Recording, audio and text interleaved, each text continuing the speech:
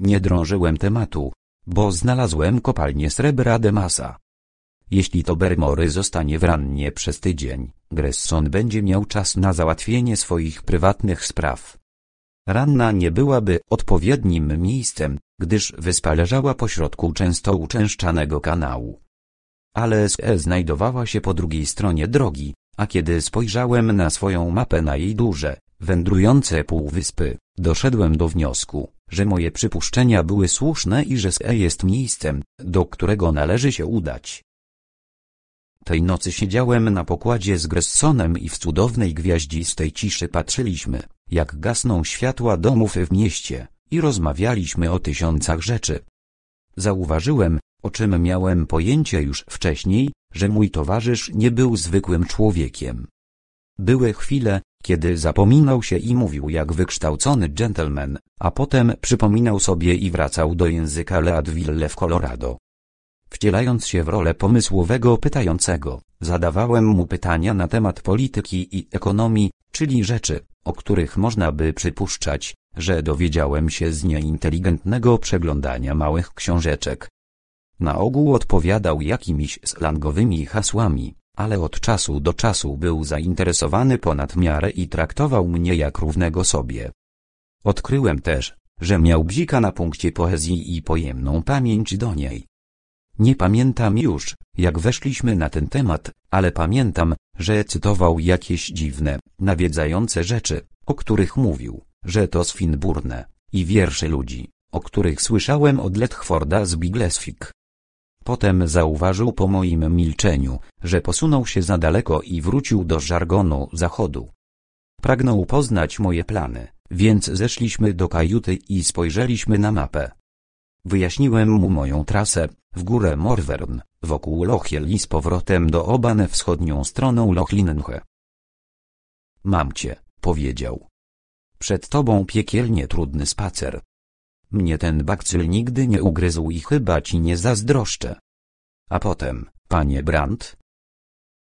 Wracam do Glasgow, by popracować dla sprawy, powiedziałem lekko. Właśnie tak, powiedział z uśmiechem. To wspaniałe życie, jeśli się nie słabnie. Wypłynęliśmy z zatoki następnego ranka o świcie, a około dziewiątej dotarłem na brzeg w małym miejscu zwanym Lochaline. Cały ekwipunek miałem przy sobie, a kieszenie wodoodpornej kurtki wypchane były czekoladkami i herbatnikami, które kupiłem w Oban. Kapitan był zniechęcający. Dostaniesz po brzuchu od wzgórz Hieland, panie Brandt, zanim dotrzesz do jeziora. Będziesz chciał wrócić na Tobermory. Ale Gresson przyspieszył mnie radośnie w drodze i powiedział, że chciałby jechać ze mną. Towarzyszył mi nawet przez pierwsze sto yardów i machał za mną kapeluszem, dopóki nie minąłem zakrętu drogi. Pierwszy etap tej podróży był czystą przyjemnością. Byłem wdzięczny za pozbycie się piekielnej łodzi, a gorące letnie zapachy spływające z doliny były pocieszające po zimnym, słonym zapachu morza. Droga biegła wzdłuż małej zatoczki, na szczycie której stał duży biały dom pośród ogrodów. Wkrótce opuściłem wybrzeże i znalazłem się w dolinie, gdzie brązowa rzeka łososiowa wiła się przez hektary mirtu bagiennego. Jej źródło znajdowało się w jeziorku, od którego stromo wznosiły się góry, miejsce tak szkliste w to sierpniowe przedpołudnie, że każda blizna i zmarszczka na zboczu wzgórza była wiernie odzwierciedlona. Następnie przejechałem przez niską przełęcz do głowy kolejnej śluzy morskiej, a następnie, zgodnie z mapą, uderzyłem w ramię wielkiego wzgórza i zjadłem obiad daleko na jego zboczu, z cudownym widokiem na las i wodę pode mną. Przez cały ranek byłem bardzo szczęśliwy, nie myśląc o Gresson czy Iwerym, lecz o tym, że na tych rozległych przestrzeniach mój umysł jest czysty, a płuca wypełnia rześkie, górskie powietrze. Zauważyłem jednak jedną ciekawą rzecz. Podczas mojej ostatniej wizyty w Szkocji, kiedy pokonywałem dziennie więcej mil wrzosowisk niż ktokolwiek od czasów Slaverhausa, byłem zafascynowany tą krainą i snułem plany osiedlenia się w niej. Ale teraz, po trzech latach wojny i ogólnego rakietowania, czułem się mniej przyciągany do tego rodzaju krajobrazu. Pragnąłem czegoś bardziej zielonego, spokojnego i nadającego się do zamieszkania, i to właśnie do Cotswolds moje wspomnienia zwróciły się z tęsknotą. Zastanawiałem się nad tym, dopóki nie zdałem sobie sprawy, że na wszystkich moich zdjęciach z Cotswold postać wciąż się pojawia, młoda dziewczyna z chmurą złotych włosów i silnym, szczupłym wdziękiem chłopca, który śpiewał Herripę w oświetlonym księżycem ogrodzie. Na tym wzgórzu zrozumiałem bardzo wyraźnie, że ja, który byłem tak nieostrożny wobec kobiet jak każdy mnich, szaleńczo zakochałem się w dziecku o połowę młodszym ode mnie. Niechętnie się do tego przyznawałem, choć od tygodni ten wniosek narzucał mi się sam. Nie to, żebym nie cieszył się ze swojego szaleństwa, ale wydawało mi się to zbyt beznadziejnym zajęciem i nie miałem żadnego pożytku z jałowych romansów. Ale siedząc na skale i chrupiąc czekoladę z herbatnikami, pogodziłem się z faktem i postanowiłem zaufać szczęściu. W końcu byliśmy towarzyszami wielkiej pracy i to ode mnie zależało, czy będę wystarczająco męski, by ją zdobyć. Ta myśl zdawała się dodawać mi odwagi. Żadne zadanie nie wydawało się zbyt trudne, gdy trzeba było zyskać jej aprobatę i towarzystwo. Przez długi czas siedziałem pogrążony w szczęśliwym śnie, przypominając sobie wszystkie jej przylotne spojrzenia i nucąc jej piosenkę dla widowni złożonej z jednej owcy o czarnej twarzy. Na szosie pół mili pode mną zobaczyłem postać na rowerze, która wjeżdżała na wzgórze, a potem zsiadała, by umyć twarz na szczycie. Skierowałem na nią moje okulary zies i zauważyłem, że był to wiejski policjant. Zauważył mnie, popatrzył przez chwilę, schował swoją maszynę na poboczu drogi, a następnie bardzo powoli zaczął wspinać się po zboczu wzgórza. Raz zatrzymał się, machnął ręką i krzyknął coś, czego nie dosłyszałem. Siedziałem, kończąc obiad, dopóki nie ukazały mi się rysy grubego, starszego mężczyzny, dmuchającego jak grampus, z czapką dobrze nasuniętą na tył łysej głowy i spodniami związanymi sznurkiem wokół goleni. Obok mnie znajdowało się źródełko i wyciągnąłem flaszeczkę, by uzupełnić posiłek. Napij się, powiedziałem. Jego oczy rozjaśniły się, a na wilgotnej twarzy zagościł uśmiech. Dziękuję, Sir. Będzie bardzo ciepło, gdy wejdziemy na górę. Nie powinieneś, powiedziałem. Naprawdę nie powinieneś. Spalanie się na wzgórzach, a potem podwajanie się w górach nie jest dobre dla twojego życia. Podniósł nakrętkę mojej piersiówki w uroczystym pozdrowieniu. Twoje bardzo dobre zdrowie. Następnie wydał wargi i wypił kilka łyków wody ze źródła. Może przyjechałeś z Achranich? Powiedział swoim miękkim śpiewem, w końcu znajdując oddech. Właśnie tak. Piękna pogoda na ptaki, gdyby ktoś miał do nich strzelać. Ach, nie. Dzisiaj padnie niewiele strzałów, bo w Morwern nie ma już żadnych dżentelmenów. Ale pytałem cię, jeśli pochodzisz z Achranich, czy widziałeś kogoś na drodze? Z kieszeni wyjął brązową kopertę i nieporęczny formularz telegraficzny. Przeczyta pan, bo zapomniałem okularów. Zawierał on opis niejakiego Branda, południowoafrykańczyka i podejrzanego, którego policja miała zatrzymać i odesłać do Oban. Opis nie był zły, ale brakowało w nim jednego charakterystycznego szczegółu. Najwyraźniej policjant wziął mnie za niewinnego przechodnia, prawdopodobnie gościa jakiejś strzelnicy na wrząsowiskach, z moją brązową twarzą, szorstkimi twidami i butami z obcasami. Zmarszczyłem brwi i zastanowiłem się trochę. Widziałem człowieka jakieś trzy mile stąd, na zboczu wzgórza. Tuż przy strumieniu znajduje się pup i myślę, że właśnie tam zmierzał. Może to był twój człowiek. Na tej depeszy jest napisane południowoafrykańczyk, a teraz przypominam sobie, że wyglądał jak kolonista. Policjant westchnął. Bez wątpienia to będzie ten człowiek. Być może będzie miał pistolet i będzie strzelał. Nie on, zaśmiałem się.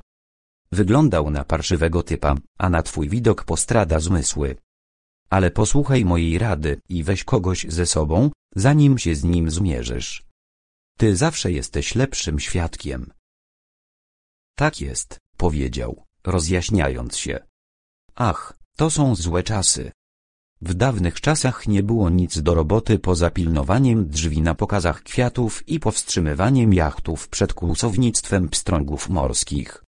Ale teraz są szpiedzy, szpiedzy i Donald, wstań z łóżka i idź dwadzieścia mil, żeby znaleźć Niemca. Chciałbym, żeby wojna już się skończyła, a Niemcy nie żyli. Słuchaj, słuchaj. Zawołałem i dałem mu kolejnego drinka. Odprowadziłem go do drogi i zobaczyłem, jak wsiada na rower i zygzakiem zjeżdża ze wzgórza w kierunku Achranich. Następnie ruszyłem żwawo na północ. Było jasne, że im szybciej się poruszam, tym lepiej. Jadąc, z obrzydzeniem podziwiałem skuteczność szkockiej policji. Zastanawiałem się, jakim cudem mnie namierzyli. Być może chodziło o spotkanie w Glasgow, a może o mój związek z Iwerym w Bigleswik. Tak czy inaczej, ktoś gdzieś bardzo szybko skompletował dossier. Jeśli nie pragnąłem wrócić do Oban, musiałem szybko dotrzeć do wybrzeża Risaik. Wkrótce droga opadła do lśniącej zatoki morskiej, która leżała jak niebieskie ostrze miecza wśród purpury wzgórz. Na jej czele znajdował się maleńki klachan, położony wśród brzus i jarzębin, gdzie płowy potok spływał do morza.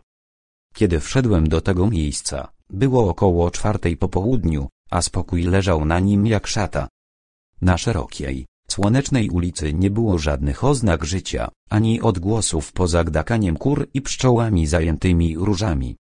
W pobliżu mostu znajdował się mały, szary kościółek, a niedaleko niego kryta strzechą chata, na której widniał znak urzędu pocztowego i telegraficznego. Przez ostatnią godzinę myślałem o tym, że lepiej przygotować się na nieszczęśliwe wypadki. Gdyby tutejsza policja została ostrzeżona, mogłaby okazać się dla mnie zbyt groźna, a Grossonowi pozwolono by odbyć podróż bez przeszkód. Jedyną rzeczą do zrobienia było wysłanie depeszy do Amosa i pozostawienie sprawy w jego rękach. To, czy będzie to możliwe, zależało od odległych władz pocztowych. Wszedłem do małego sklepiku i przeszedłem od jasnego słońca do półmroku pachnącego naftą i miętowymi kulkami w czarne paski. Za ladą siedziała w fotelu starsza kobieta z kuflem. Spojrzała na mnie z nad okularów i uśmiechnęła się, a ja od razu ją polubiłam. Miała taką starą, mądrą twarz, którą Bóg kocha. Obok niej zauważyłem stosik książek, z których jedną była Biblia. Na jej kolanach leżała gazeta United Free Monthly. Chciwie zwróciłem uwagę na te szczegóły, ponieważ musiałem zdecydować, jaką rolę mam odegrać. To ciepły dzień, pani, powiedziałem. Mój głos przeszedł w szeroką mowę nizinną, ponieważ miałem instynkt, że nie pochodziła z Highlands. Odłożyła gazetę. Tak jest, Sir. To wspaniała pogoda dla sierściuchów, ale tutaj to dopiero pod koniec września, a w najlepszym razie jest trochę ciemno. Tak. W Anna dalej jest inaczej, powiedziałem. Jej twarz rozjaśniła się. Czy jesteś z Dumfries, Sir? Nie tylko z Dumfries, ale dobrze znam Borders. Nie pokonasz ich, zawołała. Nie żeby to nie było dobre miejsce i mam za co dziękować. Odkąd John Sanderson, to był mój człowiek, przywiózł mnie tu 47 lat temu, w Boże Narodzenie. Ale im jestem starszy, tym więcej myślę o miejscu, w którym się urodziłem. Było to dwie mile od Wamfraj, przy drodze do Lokerbie, ale mówią mi, że to miejsce jest teraz tylko kilka kroków stąd. Zastanawiałem się, pani, czy mógłbym dostać filiżankę herbaty w wiosce. Wypijesz ze mną filiżankę, powiedziała. Nieczęsto widujemy tu kogoś z Borders. Czajnik właśnie się zagotował. Podała mi herbatę, podpłomyki z masłem, dżem z czarnej porzeczki i ciasteczka z melasą, które rozpływały się w ustach. Jedząc, rozmawialiśmy o wielu rzeczach, głównie o wojnie i niegodziwości świata. Nie ma tu już chłopców, powiedziała. Przyłączyli się do Cameronów, a wszyscy polegli w miejscu zwanym Lowse. John i ja nigdy nie mieliśmy chłopców, tylko jedną dziewczynę, która weszła za mąż za Donalda Frew, przewoźnika ze Strontian. Kiedyś się tym denerwowałem, ale teraz dziękuję panu, że w swoim miłosierdziu oszczędził mi smutku. Ale chciałbym mieć jednego chłopaka walczącego za swój kraj. Żałuję, że nie jestem katolikiem i nie mogę modlić się za zmarłych. To mogłaby być wielka pociecha. Wyciągnąłem z kieszeni dzieje pielgrzyma. To wspaniała książka na takie czasy. Dobrze o tym wiem, powiedziała. Dostałam ją jako nagrodę w szkole szabatowej, kiedy byłam dziewczynką. Przewróciłem strony. Przeczytałem jeden lub dwa fragmenty, a potem nagle przypomniałem sobie. To jest biuro telegraficzne, pani. Czy mogę prosić o wysłanie telegramu? Mam kuzyna, który jest pastorem w Rossirefle, i on i ja jesteśmy świetnymi korespondentami. Pisał o czymś w postępach pielgrzyma i myślę, że w odpowiedzi wyślę mu telegram. List byłby tańszy, powiedziała. Tak, ale jestem na wakacjach i nie mam czasu na pisanie. Dała mi formularz i napisałem. Ochterlony. Poczta, tyle. Demas będzie w swojej kopalni. W ciągu tygodnia. Staraj się z nim, abym nie zemdlał po drodze. Nie jesteś zbyt hojny w słowach, Sir, to był jej jedyny komentarz. Rozstaliśmy się z żalem i prawie doszło do kłótni, gdy próbowałem zapłacić za herbatę. Gdy następnym razem będę przejeżdżał przez Wamfraj, polecono mi wspomnieć o niej niejakiemu Davidowi Tutkoleowi, farmerowi z Nether Mirecleuch. Wioska była tak cicha, gdy ją opuszczałem, jak wtedy, gdy do niej wchodziłem. Ruszyłem w górę wzgórza ze spokojniejszym umysłem, ponieważ wysiadłem z telegramu i miałem nadzieję, że zatarłem ślady. Moja przyjaciółka, listonoszka, gdyby ją przesłuchać, raczej nie rozpoznałaby w szczerym i skromnym podróżniku, który rozmawiał z nią o Annandale i wędrówce pielgrzyma, żadnego południowoafrykańskiego podejrzanego. Miękki morwowy mrok zachodniego wybrzeża zaczynał opadać na wzgórza. Miałem nadzieję, że przed zmrokiem przejadę kilkanaście mil do następnej wioski na mapie, gdzie znajdę kwaterę. Zanim jednak uszedłem daleko, usłyszałem za sobą odgłos silnika i przejechał samochód z trzema mężczyznami. Kierowca obrzucił mnie ostrym spojrzeniem i nacisnął hamulec. Zauważyłem, że dwaj mężczyźni w bagażniku mieli przy sobie karabiny sportowe. Witam pana, zawołał. Chodź tutaj. Dwaj niosący karabiny, uroczysty skrzaty, podnieśli broni na baczność. Na Boga, powiedział, to ten człowiek. Jak się nazywasz? Osłaniaj go, Angus.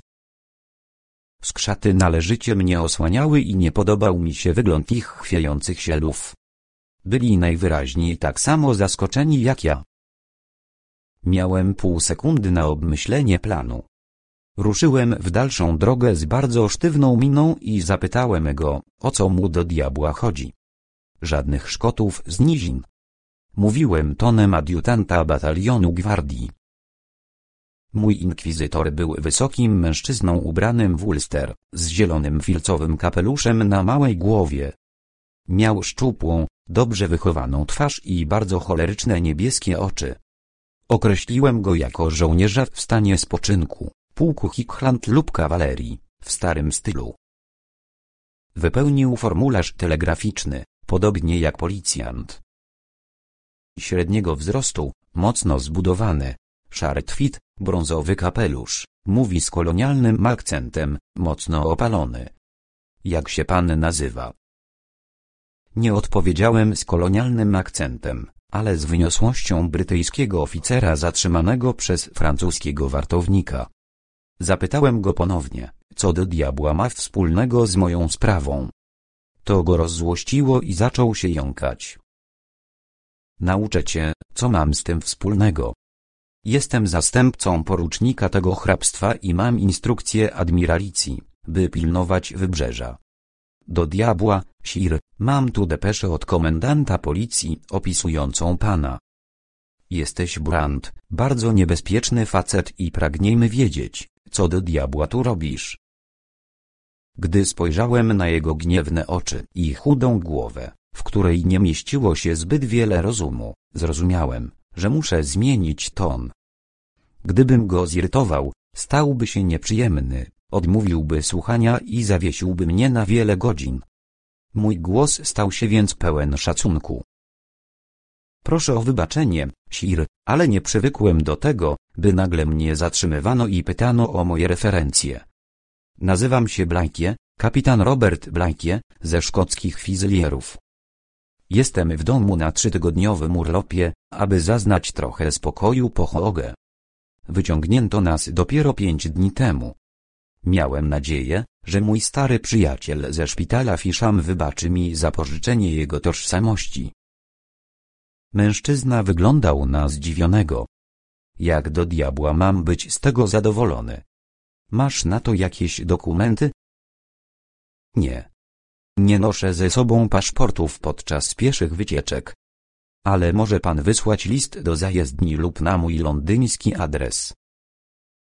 Pociągnął za swoje żółte wąsy. Niech mnie diabli, jeśli wiem, co robić. Pragnę wrócić do domu na kolację. Zabiorę pana ze sobą i przenocuję. Mój chłopiec jest w domu, przechodzi rekonwalescencję i jeśli powie, że jesteś pukka, poproszę cię o wybaczenie i dam ci butelkę dobrego porto. Zaufamy mu i ostrzegam, że jest bystry. Nie pozostało mi nic innego, jak się zgodzić i wsiadłem obok niego z niespokojnym sumieniem. Przypuśćmy, że syn znał prawdziwego Blajkiego. Zapytałem o nazwę batalionu chłopca i powiedziano mi, że to 10 Seaforths. Nie była to przyjemna wiadomość, ponieważ byli z nami w brygadzie nad Sommą. Ale pułkownik Bradbury, bo tak się nazywał, przekazał na ochotnika inną wiadomość, która uspokoiła mój umysł. Chłopak nie miał jeszcze dwudziestu lat i służył dopiero od siedmiu miesięcy. Potarras dostał odłamkiem wódo, co uszkodziło nerw kulszowy, i wciąż chodził o kulach.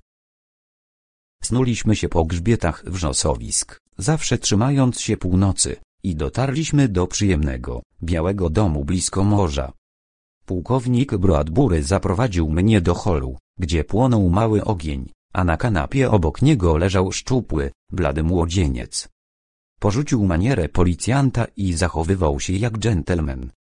Ted, powiedział, przyprowadziłem na noc do domu przyjaciela. Wyszedłem poszukać podejrzanego i znalazłem brytyjskiego oficera. To kapitan Blajkie ze szkockich fizylierów. Chłopak spojrzał na mnie miło. Miło mi pana poznać, sir. Proszę wybaczyć, że nie wstaję, ale mam kontuzjowaną nogę. Z rysów był kopią swojego ojca, ale miał ciemne i ziemiste włosy, podczas gdy tamten był blondynem. Miał taką samą wąską głowę, uparte usta i szczere, porywcze oczy. To ten typ, który robi efektownych oficerów pułkowych, zdobywa tytuły VC i jest załatwiany hurtowo. Ja nigdy taki nie byłem. Należałem do szkoły przebiegłych tchórzy. Na pół godziny przed kolacją z umysłu mojego gospodarza uleciał ostatni strzęp podejrzeń. Ted Bradbury i ja od razu znaleźliśmy się w sklepie. Poznałem większość jego starszych oficerów i wiedziałem wszystko o ich poczynaniach po taras, ponieważ jego brygada znajdowała się po drugiej stronie rzeki, po mojej lewej. Jeszcze raz stoczyliśmy wielką bitwę, opowiadaliśmy o technicznych aspektach i obrzucaliśmy się wyzwiskami, jak to mają w zwyczaju młodzi oficerowie, a ojciec zadawał pytania, które świadczyły o tym, jak bardzo był dumny ze swojego syna. Przed kolacją wykąpałem się, a gdy prowadził mnie do łazienki, przeprosił mnie za swoje złe maniery. Twój przyjazd był darem niebios dla Teda. Trochę się tu nudził. I, choć nie powinienem tego mówić, jest bardzo dobrym chłopcem. Wypiłem obiecaną butelkę porto, a po kolacji zmierzyłem się z ojcem w bilard. Potem usiedliśmy w palarni, a ja zająłem się zabawianiem pary. Rezultat był taki, że chcieli, abym został tydzień, ale powiedziałem o krótkim urlopie i powiedziałem, że muszę dostać się na kolej, a następnie wrócić do Fort William po mój bagaż. Spędziłem więc tę noc między czystymi prześcieradłami, zjadłem chrześcijańskie śniadanie i dostałem od gospodarza samochód, by ruszyć w dalszą drogę. Zwolniłem go po półtuzinie mili, kierując się mapą, ruszyłem przez wzgórza na zachód. Około południa wspiąłem się na grzbiet i ujrzałem pod sobą Sound of Slit. W krajobrazie były też inne rzeczy. W dolinie po prawej długi pociąg towarowy pełzał po linii kolejowej Mallaik. A po drugiej stronie morza, niczym forteca starych bogów, wznosiły się ciemne bastiony i wieżyczki wzgórz Se.